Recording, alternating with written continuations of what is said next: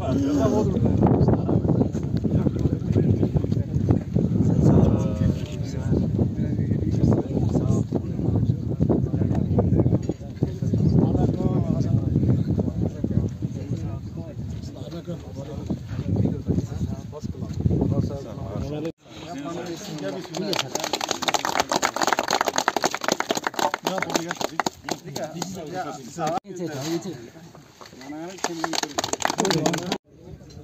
असल council secretariat के पास बहुत सारे ऑफ़िस बन रहे हैं और आज जिस तरह से ये जो ऑफ़िस कॉम्प्लेक्स बना है तो क्या एक मास्टर प्लान के तहत बन रहे हैं या हेफाजत तरीके से कंस्ट्रक्शन हो नहीं कौंसल सेक्रेटरीट के अंदर जितना भी बन रहा है, आपका बहुत ही एक प्रॉपर वे में बन रहा है आपका।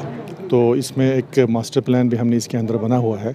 तो हमारा पर्पज़ ये है कि जितने भी हमारे हेड ऑफ़ द डिपार्टमेंट्स हैं जो डिस्ट्रिक्ट के वो सारे मैक्सिमम जो है वो कौंसल सेक्रेटरीट के अंदर ही बने। अ, क्योंकि हमारा पर्पज़ ये है कि एक रूफ़ के अंदर जो है लोगों को सारे फैसिलिटीज़ हो। तो उसी का ये है कि हम जो आपका पुराना जो बिल्डिंग था इनका बरू में हम वहाँ पर हमने उसको इनको अलाउ नहीं किया क्योंकि हम उसको ओपन स्पेस छोड़ना चाहते हैं। और एक एक ग्रीन स्पेस भी जितने भी पुराने हमारे ऑफ़िस हैं बरू में हमारी मैक्सिमम ये कोशिश है कि उनको वहाँ से खाली करवा के कौंसल सेक्रेटरीट में अगर विद इन सेक्रेटरीट में अगर जगह मिले तो विद इन सेक्रेटरीट ये तो सेक्रेट सेक्रेटरीट के बाहर जो स्पेस है उसमें उनको अलाउ करें। और थोड़ा सा बरू में आपको फिर हमें ओपन स्पेस भी मिलेगा। आपका पार्किंग के लिए हो या कोई ग्रीन स्पेसिस तो ये हमारा पर्पस है। तो आज जो यहाँ पर आपने देखा इसका फाउंडेशन जो है हमारा एस ऑफ़िस हाइड्रोलिक विंग इसमें पूरा बनेगा, जिसमें हमारा पी एच ई होगा, आपका एरीगेशन होगा, आपका एस सी हाइड्रोलिक होगा और इवन चीफ इंजीनियर का भी यहाँ पे एकोमोडेट होगा। तो इसका तकरीबन जो टेंटेटिव कास्ट है वो almost nearly six hundred crore six crore के है इसका।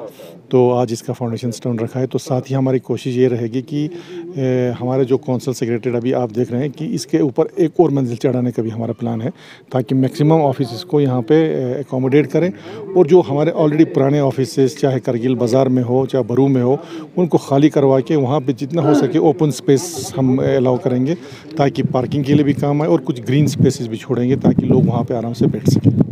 रिसेंटली एक जो ऑर्डर आया है जो डायरेक्टर्स के ऑफ़िस के विकेट को लेके उस हवाले से क्या कहना चाहेंगे आप विकेट देखिए उसमें ये उसमें ये है कि जब हमारे यहाँ पे आपका पहले डिविजनल स्टेटस हमें मिला यूटी से पहले तो जे एंड के गवर्नमेंट ने हमारे जो डायरेक्टरेट्स को बांट के दिया। कुछ डायरेक्टरेट्स जो हैं वो ले में, कुछ करगिल में उनका हेडक्वार्टर तो उनको फैसिलिटेट करने क्योंकि इमीजिएटली उनके पास कोई स्पेस नहीं था। तो उनको फैसिलिटेट करने के लिए हमने अपने कौंसिल सेक्रेटरीट में उनको जगह दिया ताकि वो लोग यहाँ से बैठ के प्रॉपरली फंक्शनिंग करें। तो अभी हमें कुछ हमारी ऑब्जर्वेशन ये है कि मोस्टली जो डायरेक्टरेट्स हैं वो यहाँ पर बैठते नहीं हैं और हमारे बहुत सारे रूम्स उन्होंने ऑक्यूपाई करके रखे हैं। और अभी हमारे बहुत सारे ऑफ़िस जो हैं, उनको रिकन्स्ट्रक्शन भी हो रहा है आपका, अभी एच के तहत तो उनको स्पेस नहीं मिल रहा है। और हमारा मैंडेट ये है कि हम अपना जो डिस्ट्रिक्ट ऑफ़िस हैं डिस्ट्रिक्ट के जितने भी एच हैं, उनको एकोमोडेट करें। तो उस हिसाब से हमने चिट्ठी भी लिखा है ऊपर और हमने सर्कुलर भी निकलवाया है डीसी साहब के ज़रिए। या तो इनको प्रॉपरली फंक्शनल करें या वकेट करें, कहीं पर भी वो बैठें, अपने जिस तरह से वो जब ले में वो कैम ऑफ़िस बना के बैठ सकते हैं तो यहाँ पर भी जो आपके उनके जो एच हैं, उनके साथ बैठ सकते हैं। तो मेन पर्पज़ तो ये है कि हमारा कि वो लोग फंक्शनल करें हमें कोई इशू नहीं है।